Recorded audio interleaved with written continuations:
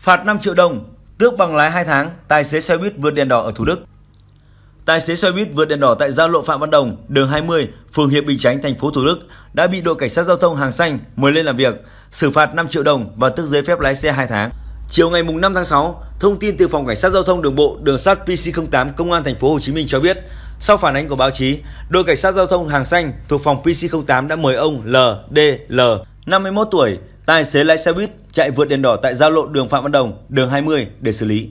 Theo đó vào ngày 5 tháng 6, mạng xã hội xuất hiện đoạn video clip ghi lại cảnh một xe buýt phóng nhanh ngang nhiên vượt đèn đỏ tại giao lộ đông đúc xe cộ qua lại.